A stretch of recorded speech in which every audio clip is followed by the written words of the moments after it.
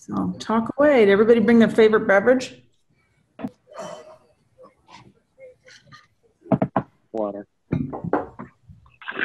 They, they discourage drinking alcohol at work there, Scott? They're funny about that. They don't completely prohibit it like uh, Bayer did, but uh, they've got to have a VP sign off for events that include that. If you owned a winery, it would can be a completely different situation. Yep, but or distillery.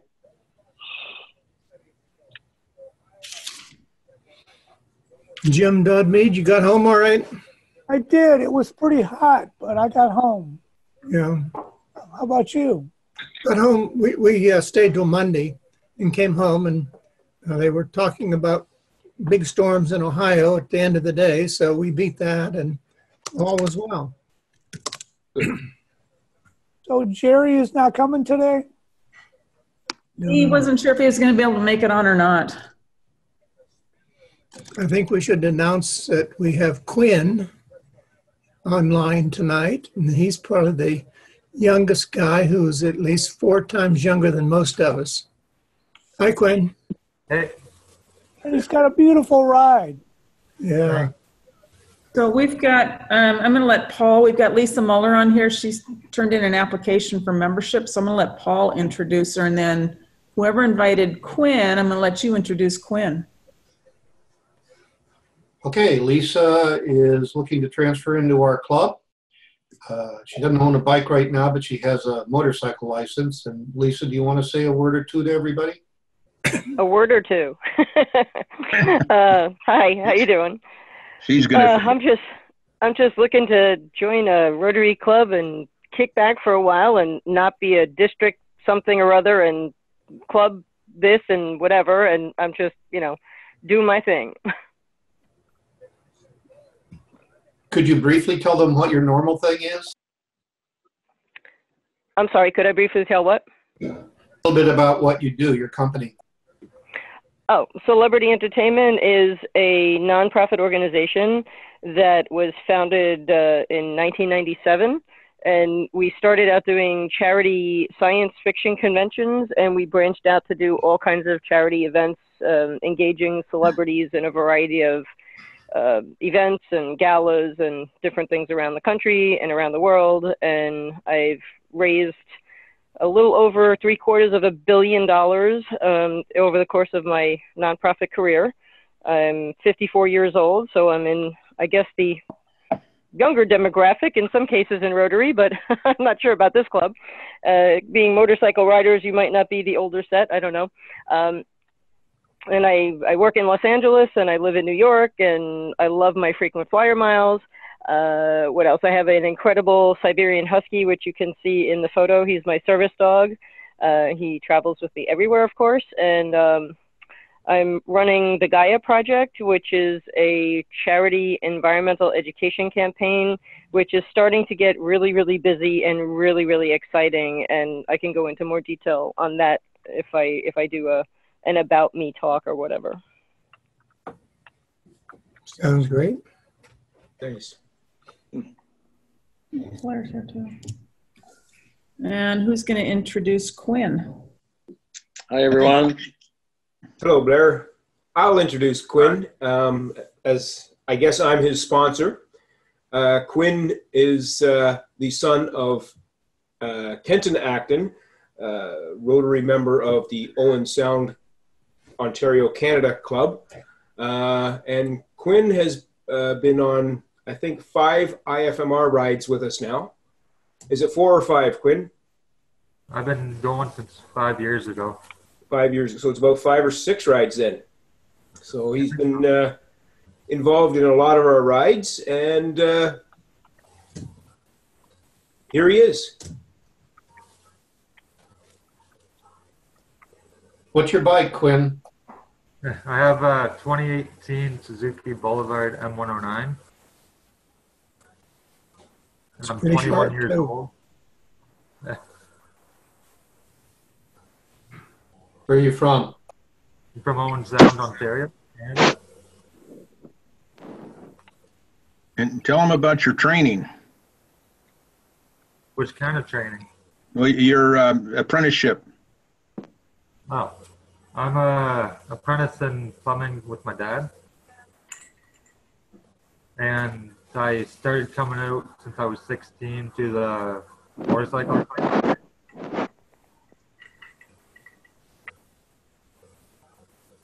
I can say that I followed Quinn for several hours on his bike, and he's a pretty good rider, Thanks. except for that ticket. He followed me a lot of the time, and it made me nervous because he's such a good rider. Only got lost once. I think we all got lost once. No, no, no, no, no. If you have gas, you're not lost. That's probably true. Which kind of gas? Criteria. It's all part of the adventure. Yeah. It really was a nice event. I always enjoy those events.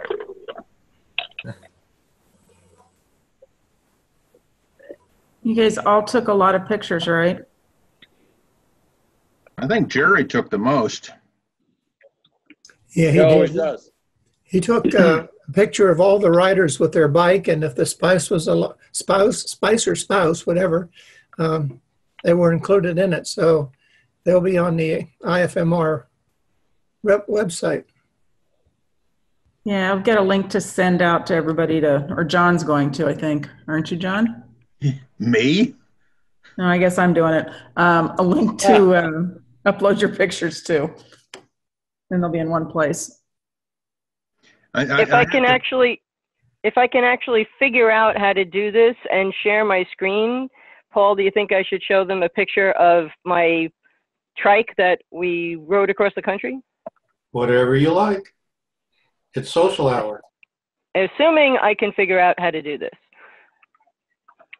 So down along the bottom of the window, there's a share. Do you see that?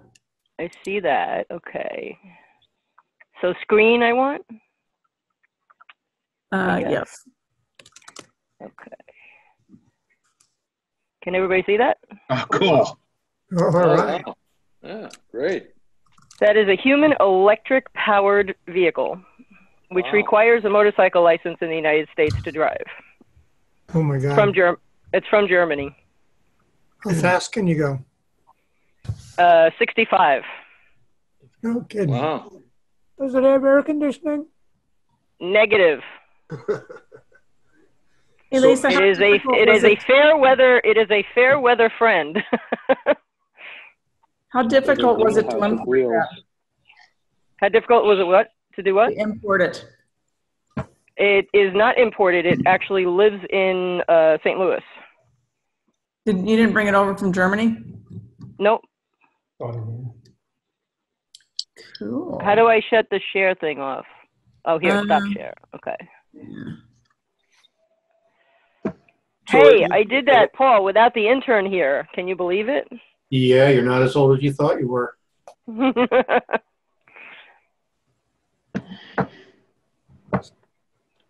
So it's human powered. You pedal. Human electric. Human electric. It's an electric vehicle that when you pedal, you're not actually powering the vehicle, you're just adding electricity to the battery. You're Oh. charging the dynamo or charging the batteries. Correct. Okay. Wow. Does it have How solar much do you. Is it what? how much, how much do you have to pedal to keep going? Um, you don't. It has a, a charge that lasts, um, I think it had a 300 mile range uh, without charging in a, you know, in a regular charging station. And if you pedaled, you got an additional, I think, 10% of the, of a ride. And the neat thing is that you're never actually out of fuel because you could always just be sitting there parked, pedaling your little butts off if you're stranded somewhere and then you have another 10 miles and then you have to do that again and we did not run into that situation but uh, the owner of this vehicle was telling us about that so um, he has extensive experience he's one of our board members Does it have solar cells? it does not does have a Mhm. kick-ass radio though Ah, Jim, does your bike have solar cells? My bike's not electric. Next time you guys get Mike Atkins on uh, uh, one of our meetings, ask him about his solar powered V Strom. He rode it from High Level Alberta, which is northern Alberta, to Calgary. From Calgary, he rode it from to middle of Saskatchewan, and then for a third time, third day, he rode it from Saskatchewan to Winnipeg because he couldn't find charging parts in High Level Alberta. So he put in a deep cycle battery in the trunk, a solar power on top, and had to turn off his headlights to reduce use of electricity. But he got that thing halfway across the country under solar power. Wow. Cool.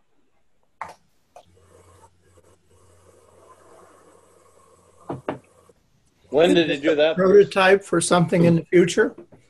Maybe, eh? When did you do that, Bruce? Uh, three years ago. Oh wow. He uh, he was invited to my son's wedding in um, Moose Jaw, and uh, I get this text saying that he wasn't going to make it because he'd broken down in High Level Alberta, and then I get this a day later I get this text back that's saying we've got it fixed. I, I should be there. So, and he had some he had some ten hour riding days with the solar power. Hmm. What speed? Average speed? Highway miles, Mike, it would probably have been about 120 or 100 miles an hour. No, 100 kilometers an hour. No, Mike would have been 120 kilometers. Yeah. Or 130. So, Paul, when's your move to Asheville? I'm probably going to go down around the 10th of August. Still working on getting the bike down there. I thought you decided renting was going to be more uh, advantageous. No, you suggested renting, which is a great idea, but I'd really prefer to ride my bike. Mm. I want my bike down there. Everybody knows your bike is better than anybody else's bike, right? More Yeah. comfortable. And you know it. Linda, do you want me to talk about the banner idea? Yeah, that'd be great. And then I have a picture to share from Jerry. Are you all familiar with the idea of rotary trading banners? Yes. Rotary what? Trading banners. Yes. So the idea is you your club has a banner, and when you go in in my area, my district 7090, typically if you're more than 50 miles from your home club, uh, you take your banner and you have a little ceremony at the club you're visiting, and you trade banners with them. You bring them back, and you know this is all based on land-based clubs. Yep, there you go. You hang the banner on a on a big uh, felt uh, flag, and you show off your banner. In an E club, it gets a little bit more complicated. So the club that I founded in District 7090, uh, what we did was we made trading banners and we took them to other clubs and we brought other banners back and we took a picture. And so we put them on a, we had a page, a web page where you hang your banner and you could show off all the banners you have. But the neat thing about it is it's just a little bit more ceremony when you're visiting another club, especially Singapore, where I teach. Uh, when you go to another country or another state, uh, especially in other countries, they make a big deal out of swapping banners. So I suggested that we ought to consider having a trading banner. And uh, let's see, I'll show my screen a minute while I turn off all the porn. Um, okay, here we go. And so I had a prototype six by nine inch banner made uh, by a company that I buy my flags. I ride in with veterans groups here in the Buffalo area, Niagara. And this is a small banner, uh, six by nine inches, and it's pretty nice. I used our brand new logo. This is all official Rotary colors and everything. They use the image that I provided to them. Uh, but it's tiny. The, the challenge is that uh, when you compare it to a regular motorcycle flag, here's my VFW flag, it's small. So I've written back to the company and said, could you make me uh, a prototype this size? And of course, when you get to the bigger size, we could put a website or something on it. But the thought that I had was I would love, I, I do a lot of traveling, uh, as many of you do, I'm sure. And I would love, this is my, the current one. Let's see, which way is it? this way. This is the current one. Good. I think that'd be so cool to go to another club and say, I'd like to swap banners with you, and then say, oh, by the way, this is a motorcycle banner that you can put on your motorcycle. Uh, now, it may very well be that our trading banner be, would be a small one, and I want to get a big banner for my bike. Uh, I have uh, several banners. American flag is always one of them, uh, and I'll fly this the next time I ride. And I'd like to get a full-size banner for this. And I have VFW and American Legion and Vietnam veterans. Uh, but I'd love to con- have a consideration of us doing this. And if we did it, it wouldn't cost the club any money because I would, whatever banners I got, I'd just pay for it. And the club could actually charge a couple extra bucks uh, to put a little money for future, you know, promotional stuff. So that's Paul, the the only thing, the only thing I'd recommend on that banner of yours is on the wind side, not the, the side that's on the stick, is uh, have like four sets of stitching along there. I know I've gone through about three or four American flags and I finally got one that was stitched that way and it's doing all right. Yeah, I can I can talk to them. Um, if you look at this, let me come back and share my screen. I've flown. Let me see. Where are we here? I've flown this banner for about two years, and it's made by the same company. I can ask them if they can double stitch or quadruple stitch. Uh, whatever it is, I mean, whatever the club decides it wants to do, and somebody in the club may know somebody better to make banners. I'm not trying to pitch my company. It's just they work with me to create the, the sample. But this is starting to get a little dog-eared around the edges, but it's two years worth of riding. Uh, so, you know, they do hold up pretty well. It's pretty heavy material. The only other company I know is Russell Hampton that makes them in small batches. Yeah, I, I haven't tried Russell Hampton. I, I did this one because uh, it has, again, let me, well, here. It has the sleeve to go over the device that holds my banner on my bike. So it just, I just pop the top off and I can slip this one on in place of one of the other banners or I can buy an extra mount for it.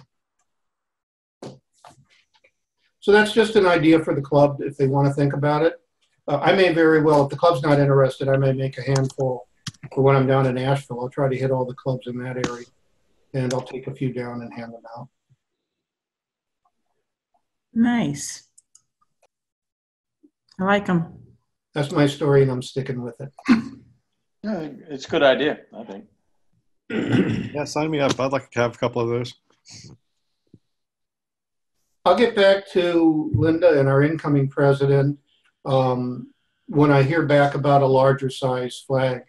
And then the, the board can decide what might they might be interested in. Maybe there'd be two options, a full-size one, which I would prefer to have on the bike, and a smaller one for giving away to people. Okay, sounds like a plan. What else? Oh, I have to share a picture with you from Jerry. So we made his, I don't know, you've heard him talk about his friend Carlton? Yeah, Parnell. Yeah, Carlton Purnell, yeah. Um, they, we made Carlton a, an honorary member. His other club didn't do that, and he hasn't been in Rotary for a while, so we made him an honorary member last week or the week before.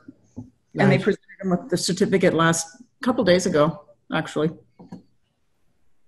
He's looking pretty good. Yeah. You told me the story. It's pretty cool. Um, but that's the picture he wanted me to share with you guys. For those of you who don't know Carlton, he's been a long member of the IFMNR, IFMR, and uh, probably one of the original members of the North American chapter. He's hosted many rides down uh, in around the Lions, uh, sorry, the Dragon's Tail. Uh, I've ridden him with ridden with him once. Uh, I'm not sure who hosted that ride or where it was anymore, but uh, he's very very nice Rotarian, very nice man. He been sick. became he became sick with cancer about two years ago, and uh, Jerry's traveled down to meet him a number of times since then. He's actually put on a lot of weight. Oh, you know,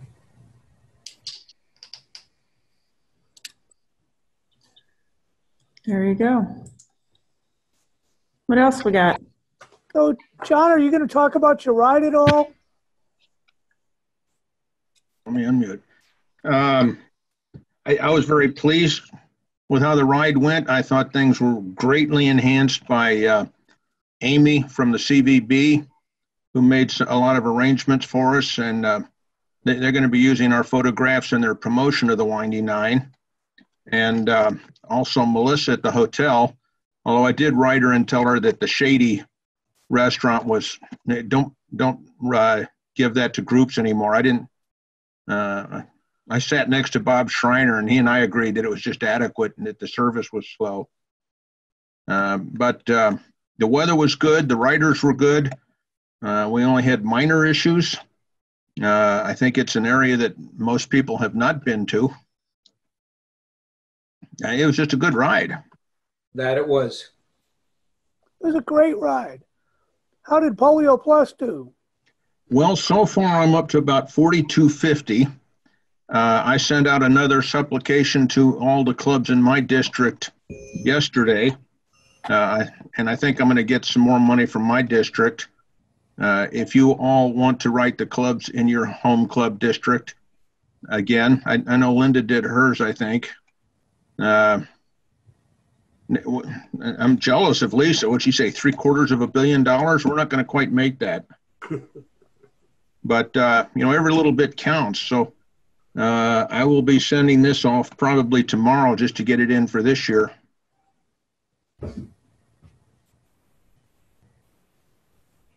anybody You else what, have That three quarters of a billion is uh, career long and many different organizations, not just Rotary. it's, so i got a couple years to work on it yeah, I think so. The only problem I had with the ride is that John set the bar so high that other rides are going to have trouble meeting it. Yep. it's going to be a I- tough I- act to i appreciate that i don't know about that but i've been on some good rides i know That was a after the one. after the atlantic convention we had some good rides bob schreiner usually has a good ride if you can keep up with him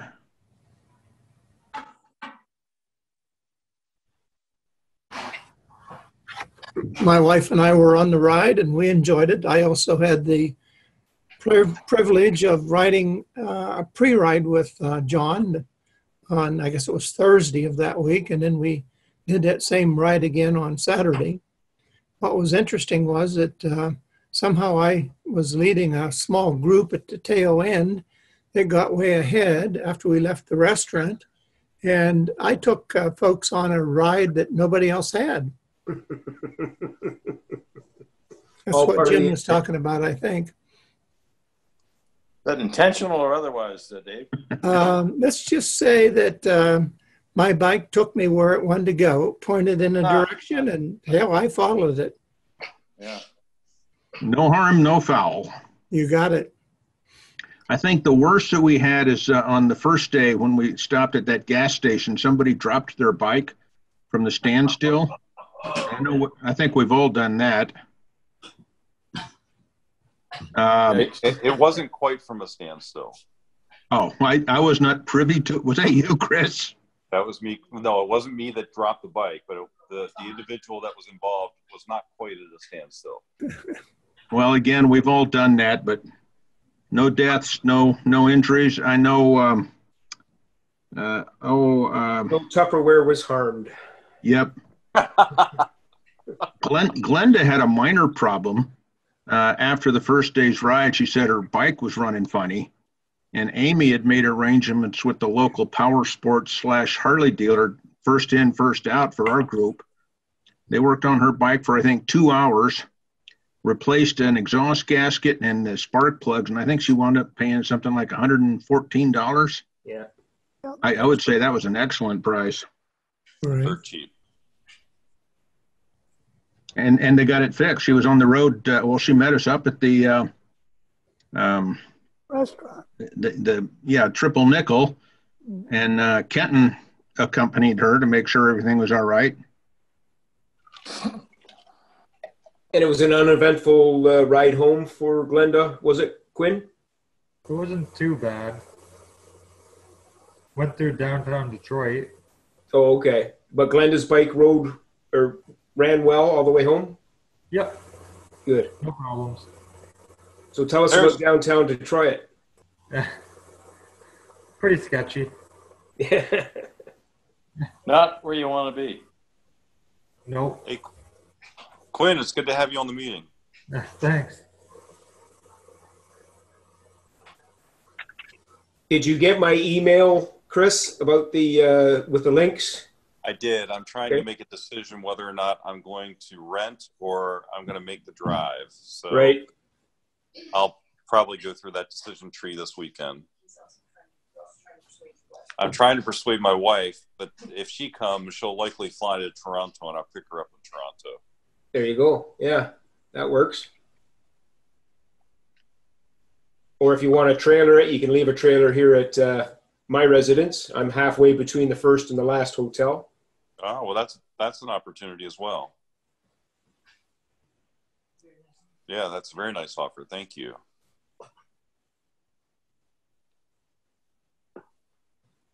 This is in September, right? That's correct. And we're gonna see the uh, elk antlers and I hope we can make arrangements to fit Eric's farm uh, into the tour. I don't see why not. that was a pretty interesting fella. He is. He is. Bruce, I don't know if you noticed, but after we left uh, Jimbo's and uh, we, we hit, I think it was 56, we passed a sign that said moose. Oh, I did not notice. I, I thought about stopping in there because we didn't see any moose on the ride up with your place. That was the the Collingwood wet one you're talking about. That would be the one. Uh, no, there's no moose in our area. Oh, that, that's just wrong. About elk? No elk in our area either. How about optimists? Uh, maybe maybe moose on the northern part of uh, the ride on in September, but Lions? which Lions? I'm just thinking through all the, the nonprofit groups. Lions, Um, tigers, and bears. No, no, this is North Country. They're deer. we are go- we are going to be riding on part of the lion's tail and visiting Which the line would lion's that- head Which line would that be? and visiting the lion's head uh, rotary club for uh, a, a brunch or a snack coffee and a snack on the uh, first morning What what lion's tail would that be, Bruce? you've not heard the promotions about uh, the route that's just uh, up in the bruce peninsula the lion's tail promotions about the route. I'm cur- curious about the lions. oh i don't know then Bruce, there are people in the chat asking more about the ride and where it is. Can you give a little more detail? Sure. It's starting in Owen Sound, uh, Canada, um, Ontario, Canada. Um, September the 13th. It's a Friday. Uh, we'll be leaving about 8.30, 9 o'clock Friday morning. We're going to be heading north through the Bruce Peninsula up along the shores of Georgian Bay. We will be taking the Chi-Cheemaun Ferry uh, from Tobermory to Tobermory to South Baymouth, which is on the Manitoulin Islands. Touring around the Manitoulin Islands for a little bit, uh, staying in Espanola, which is east west of Sudbury. From there, there we're going to be heading over to North Bay, uh, and then from North Bay down the eastern shores of uh, Georgian Bay back to Collingwood all the information, all the booking information for hotels and ferry uh, are uh, uh, on the IFMR website and our own club's website. Uh, if you're looking to book, if you are um, even tentatively thinking about coming but still not sure, my suggestion is that you book the ferry first. You can always bow out of it. You can always cancel your your uh, reservation but that is limited space. It's first come, first serve. by the way, this is this is all about two and a half hours northwest of Toronto. Any other questions about the ride? Uh, when will it be over? Um, starting. Never. Uh, We start Friday. How many days is it? We'll be back in Collingwood on Sunday, the Okay. the fifteenth. Okay.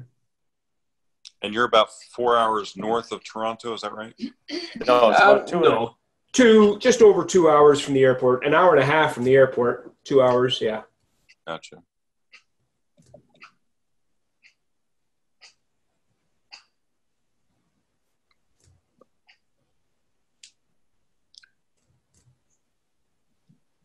Well, I, am I on? Okay. I went to the BMW MOA rally in Lebanon, Tennessee, and had a great time. There was about 6,000 BMW riders, and uh, Lebanon was great. Um, then I rode over to the Blue Ridge Parkway and the Dragon's Tail. Never had done that before, and it was a lot of fun. So we had a great time. And did a lot of riding and saw a lot of friends. I didn't see uh, the gentleman from South Carolina. I forget his name. Harold, Uh, what was his name? Harold, Okay. Harold Hill. didn't Or Terry. Sure wasn't Clem? Uh, the black gentleman. I, I don't remember his name. I'm sorry. Harold's the one Harold. that said he was going to the BMW. Uh, rally. Yeah, yeah. Harold Hill. Harold. Yeah. No, I didn't. I didn't see him. Um, and the young lady that joined that was supposed to be having a booth, I didn't see that, so I'm not sure she showed up. But uh, it was a good time, and um, uh, you know, it's a great group of people. So for all BMW riders, um, try to make it next year. It'll be in Montana. So, John, don't schedule your ride next year during that ride. Hey, they could have come. Or we could have, or we could have crashed their party. we could have.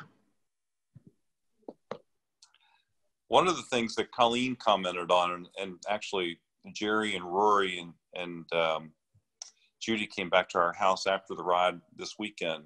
But one of the things we commented on was that how nice it was that all the bikes were fairly quiet. We didn't have anybody with the wide open pipes. So true. Yeah. Kind of nice. Say that again. And Quinn?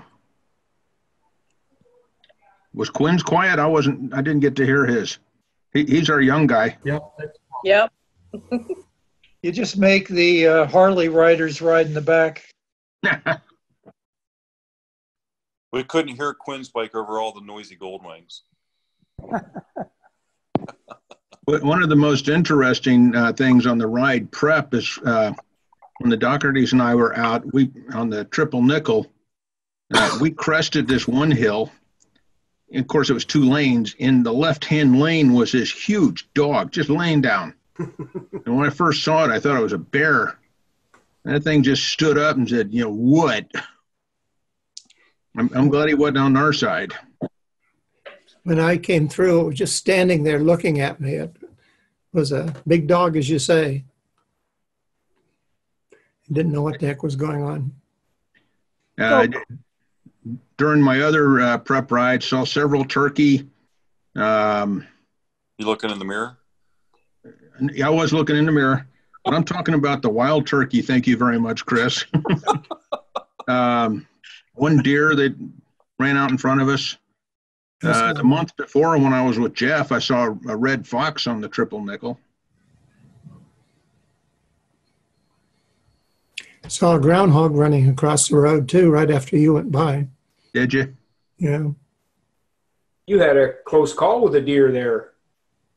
On the was it this Friday ride? I think it was the Friday ride, yeah. How how far in front of you was he when he crossed, or she, or it? Um, I I didn't take time to measure. I was busy doing uh, avoidance technique.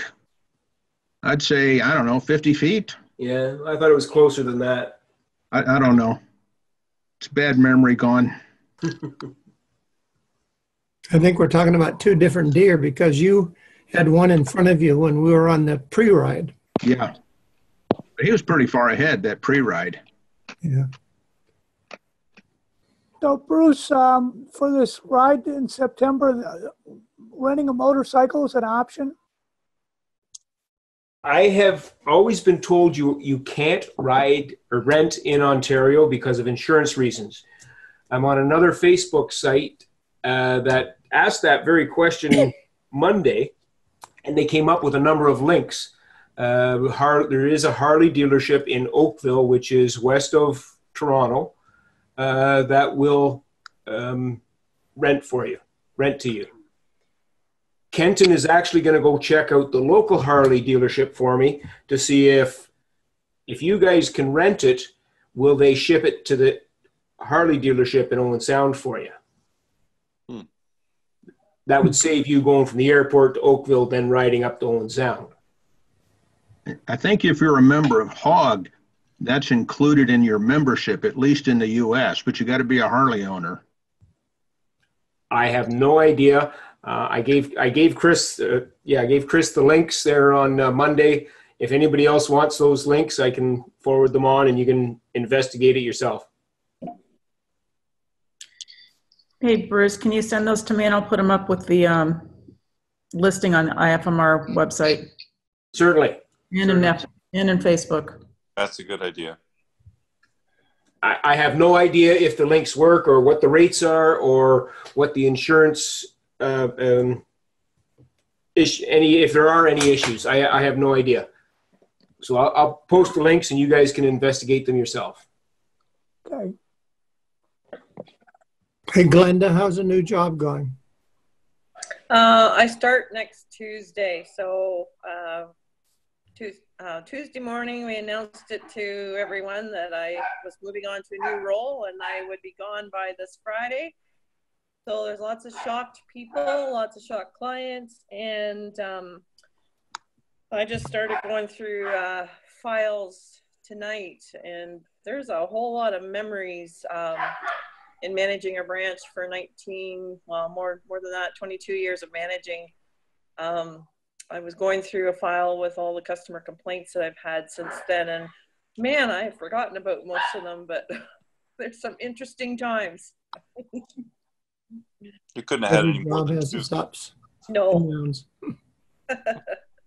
so it's it's a pretty emotional week for me, I have to say. It's uh, I'm excited about the new role, but it's pretty bittersweet leaving uh, somewhere that you've been for all those years. Paul, how was your visit with your high school friend? Very interesting. Uh, he and his wife are art instructors at Indiana University in Indianapolis, and uh, I haven't seen him for since 1976 uh, when I was at their wedding. So it was nice to get caught up. My wife drove to Indianapolis to join me, so she drove all the way out and all the way back just to be there for a couple of days. And it's a nice town, by the way. I've never been to Indianapolis before, and of course they took us to all the cultural stuff, all the museums and everything. So, Paul, did, did, did you stop by Athens on your way to Indianapolis? that was just a layover. I decided I I had um, a little bit of time open, and I decided to go, you know, a couple hundred miles out of my way to stop in Athens on my way to Indianapolis from Buffalo. Yeah, How cool is that? Thank you. what that was, and I'm glad I did because I wanted to meet you guys. It's kind of hard to bond with you here on the screen, you know. we had a, we had a good time. We went to a planetarium, saw a show, went to a museum. He showed me his artwork. Uh, they actually founded a museum in Akron, Ohio, years ago, uh, 20 some odd years ago. Uh, and then they've been teaching in Indianapolis since then. About to retire. December, they're retiring. Nice. After I left Athens, I went to Bristol. I went to the Motorcycle Sport Touring Association Star event in uh, Bristol, Virginia. I got to tour the racetrack. Bristol, Tennessee. There's a guy named Bruton Smith that owns um, eight different NASCAR tracks. So I guess he's got a couple of bucks. But I got to go up and see his um, sky sky room so they can watch the race from up above. It was pretty cool. It's a very interesting tour. Well, that's cool. I got to ride the new Gold Wings too, both of them, which was fun. What did you think? Well, it's hard to justify another fifteen thousand dollars. You know, nice bike, but it's a lot of money. Yeah, there's a lot of money, but they do ride sweet. they do. You're right. They do. It's a whole. It's a whole different ride. I was Yes, amazed. is. When I, I was amazed when I rode Rory's over the weekend. Maybe after a few years after they depreciate it a little bit. You mean if Chris buys one and rides it for a couple, three years, you might buy it from him? I might. yeah, I might. You take good care of your bike, Jim. I, I was impressed with how nice yours looked. Uh, it's getting old. It's getting a little long in the tooth. It's 12 years old, but it runs good. It was. I really. I fell in love with it again after that ride this weekend. It was. It was a lot of fun. Yeah, it, it was a great ride. John, you did a super job pulling all that together. Thank you. Very kind of you to say. He wasn't being kind, he was being honest. Yep, the four-way test, number one.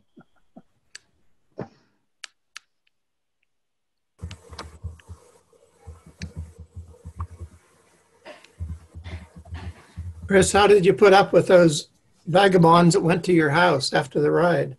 Oh, you know what? They were pretty good. In fact, they uh, in the morning they even stripped their beds and brought their sheets down so we could easily wash them. So they're pretty good guests. Oh, well, that's good to know if I ever stop at your house. Yeah, Know what to do, know what the protocol is. it, it worked out pretty well. We we uh, we we got back into Charlotte at about three thirty on Sunday, and then we. I live in a neighborhood that has a restaurant in the neighborhood, so we walked over to the restaurant for dinner. And the next morning, everybody was up early. I made them breakfast, and uh, they were on their way out to see Carlton by about eight fifteen in the morning. Yeah, super. Yeah, Sounds good. yeah. So they were good guests. Ken, Ken took, uh, Quinn and I threw um, some interesting parts of Detroit. we got off the we got off the main road and made some wrong turns and uh, it was very interesting. Kenton said there all the bike gangs and stuff. He never looked sideways. He just kept looking straight. ahead. You must have been around Seven Mile or something. I don't know. I don't even remember lending you my GPS. Jennifer and I had a heck of a time getting out of Athens, of all places. I kept going around on the wrong way. I wanted a, a, a east to west road to be north south, and that totally confused me.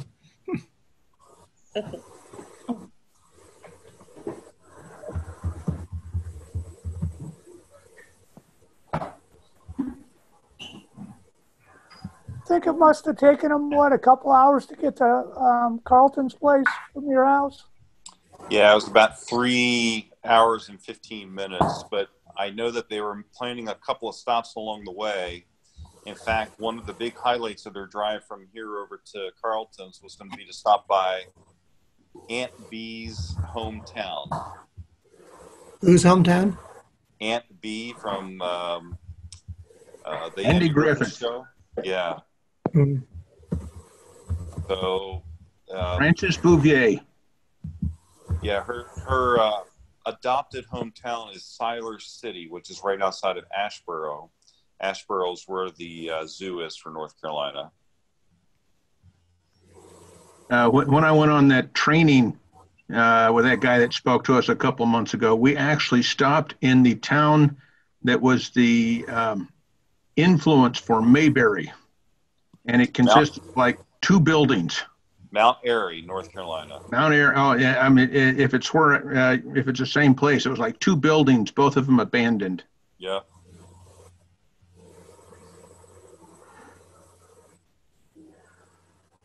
That was Jim Ford.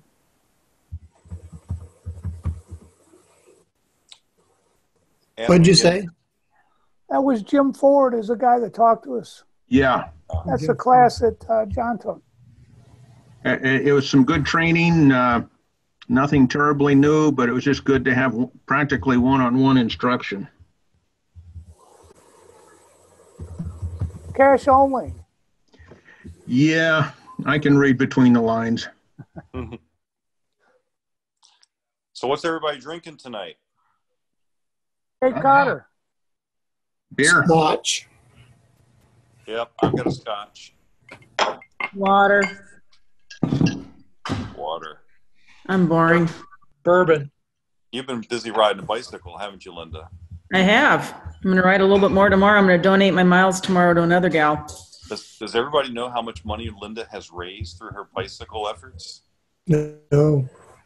Oh, brag, Linda, brag. $6,135 as of yesterday. Oh, Oh. All for uh, childhood cancer research. That's huge. Yeah. It was good riding. I rode, I did six, a little over 60 miles on Saturday.